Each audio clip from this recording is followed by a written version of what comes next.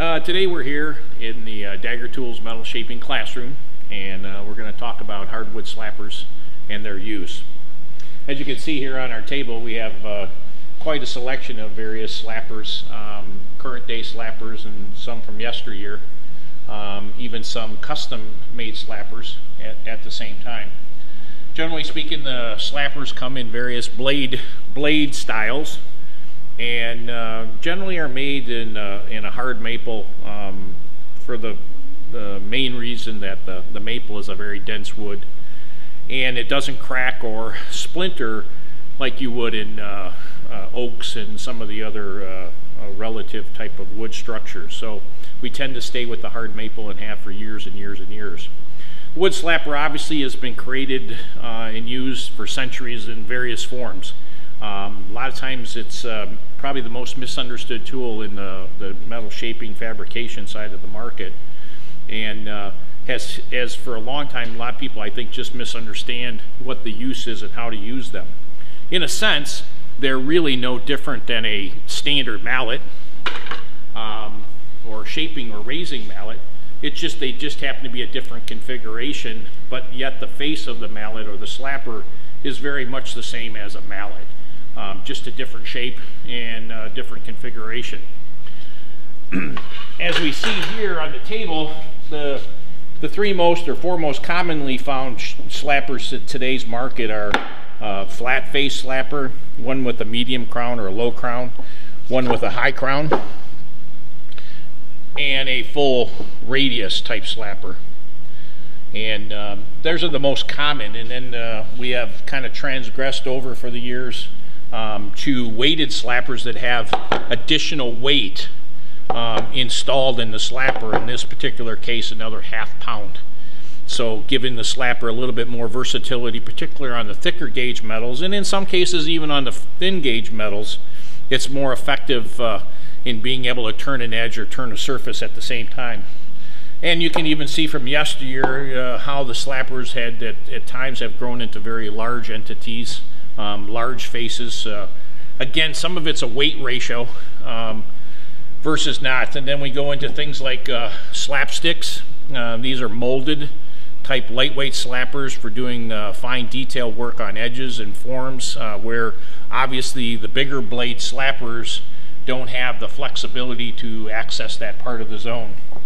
And then in recent years, we've gotten into what we call a reverse curve or a reverse uh, type of slapper where now we can come inside a shape and, uh, and draw a shape up. And we'll try to show a little bit of a demonstration of that here going forward. So, but by and large, typically the, the slapper is an entity that allows us to take a sheet of metal uh, and stretch it by adding shape um, into a camber or a form. In, uh, in many cases prior to the average individual having access to a uh, wheeling style machine, um, the slapper was his best option when it came to either uh, building a, a, door skin that uh, had to have a relative amount of camber put into it or shape. Um, he could use the slapper in conjunction with a shot bag and he could uh, raise the metal and put shape into it uh, virtually blemish free and that is one of the other attributes of having a slapper is obviously the leather face facing on it or the facing on it allows you to, to minimize the amount of stretch uh, or the amount of surface damage relative and, and, obviously control how much stretch goes into the part uh, creating a form. Much different than in the sense if we use a, a mallet um, versus the blade of the slapper the mallet, obviously, we have the situation where the edges and that can leave marks and, and dents uh, in the surface that would take more time to, uh, to work our way out than uh, obviously the blade of the slapper. Uh, flat blade of the slapper is going to allow the metal to flow linearly, um, stretch linearly to add camber. We'll show that here in a second. By adding a little bit more shape to the blade, then we also, not only do we shape it and add shape this way linearly, but we're also adding a three-dimensional kind of effect where we can begin to put shape in, in this direction in the panel. And by increasing that, we can do that uh, at, a, at a much higher rate. Uh, additionally, we'll talk about where we can take the slapper as a secondary tool and use it for all of our edge shaping uh, uh, relative to forms and using with dollies in conjunction with or adding additional shape to the edge. The uh, full radius slapper being a little bit different, uh, really one-dimensional, only going to raise the, the metal really aggressively, put a lot of camber in it very quickly. Uh, because the blade does have some curvature in uh, the opposite direction, it, it, does allow some, some three-dimensional shape raising at the same time, but it is very rapid uh, raising of the metal. So, and then like I said earlier, the, the, the weighted ones uh, allow us to put a little bit more weight into the surface and obviously it allow us to move the metal a little bit more rapidly. So we're going to demonstrate here a little bit by just taking a traditionally flat sheet of low carbon steel, as you can see, and uh, in conjunction with the shot bag. On this particular case, a standard 12 inch shot bag.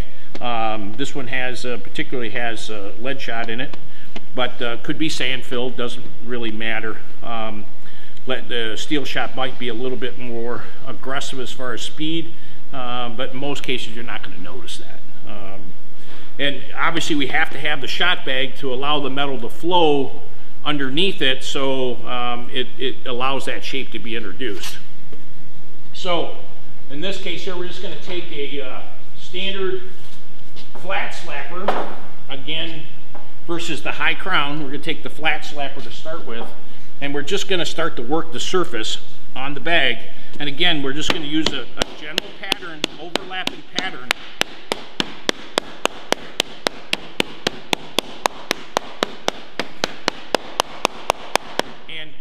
Primarily by how frequently and how uniform the blow surfaces is what's going to give us the amount of shape that we're introducing into the pattern.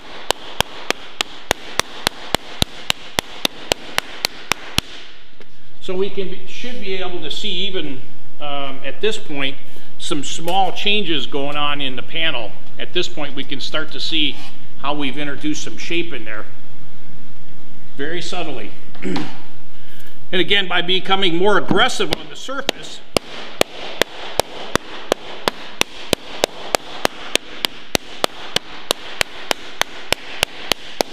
by increasing the blow force and or the frequency of the blows we can begin to see how much more of that shape has been introduced from our original flat panel. So that's the essence of where the slapper becomes very valuable. And as, as we work the surface more effectively,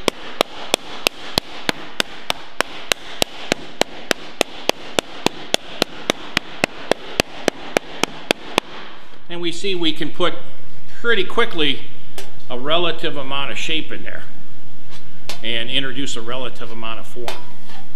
So at the same time though, with, because we're using a flat slapper, there's virtually no shape in this direction. The shape is all linearly based on how we introduced our force of the slapper face to the surface. So if we start to uh, jump over and take a higher crown, slapper, we should begin to see where we should begin to introduce not only shape this way, but shape this way. So we'll go with a high crown and introduce some additional shape.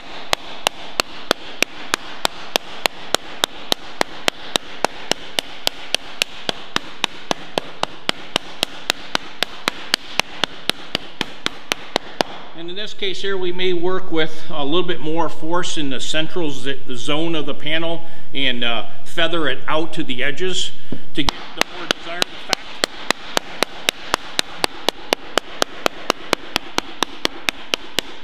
And so, again, we can see how much additional shape here, and we should begin to start to see some slight changes now in the surface in this direction.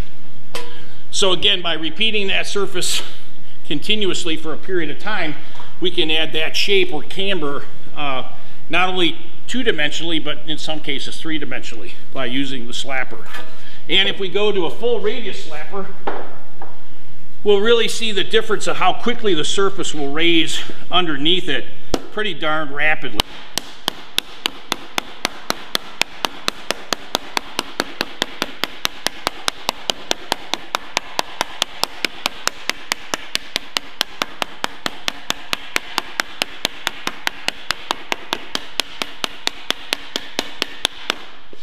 So we can begin to see, yeah, how much, how much shape we've introduced into that panel.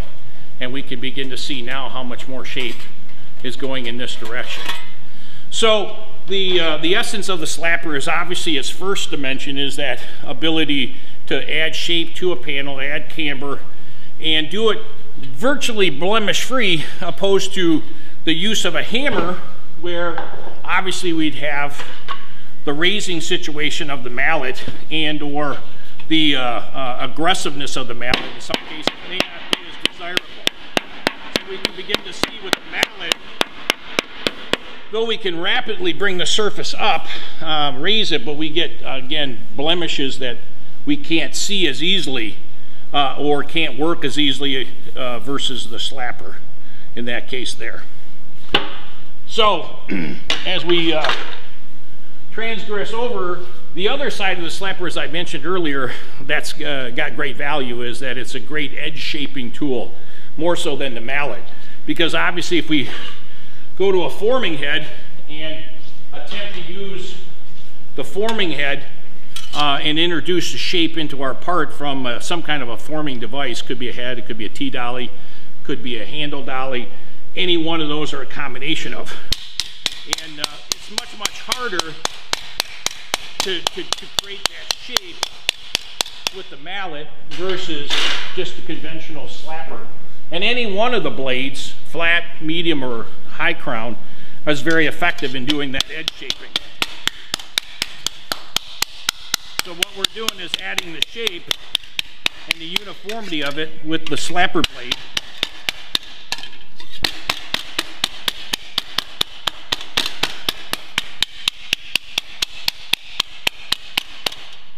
Or in some cases, if it was on a dolly or a form head, we could introduce that shape with a T-dolly or via T-dolly. And again, different than, than our conventional type mallet in this case. Doesn't mean we couldn't use the mallet, but the mallet's not going to give us this, this blemish-free or virtually blemish-free surface that we're going to get from the slapper.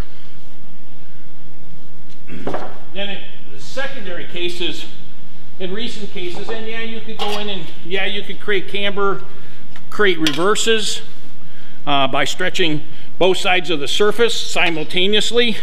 This side, this side, and obviously it gives us that reverse curve or the ability to put a reverse in.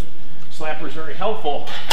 And in the case of uh, the new generation tool, tools, we've begun to use these, these uh, reverse curve or offset slappers to begin to introduce shape where we have to roll a surface over as an, an, option to raising it with as much blemish as the mallet would be. So in this case here we do the same similar kind of thing, but because the, the slapper blade is in this case offset to the main blade, it allows us to reach into a surface where obviously the, the flat blade slapper is restrictive in that case.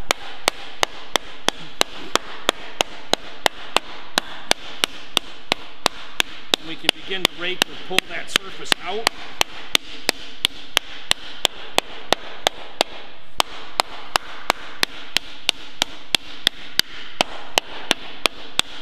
And we can begin to see how easily and quickly we can begin to turn or radius surface by stretching that edge, that edge over with the minimal amount of damage to the surface that we would normally see. So the reverse slapper um, as a generational tool has uh, got some merits as far as an option in the shop as far as a, certain types of applications. And again, same case, we get virtually a, a blemish-free type of surface out of it.